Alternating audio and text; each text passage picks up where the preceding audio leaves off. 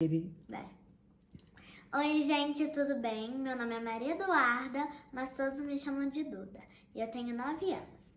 A música que eu vou tocar eu queria dedicar para as pessoas que estão deixando seu país e sua família.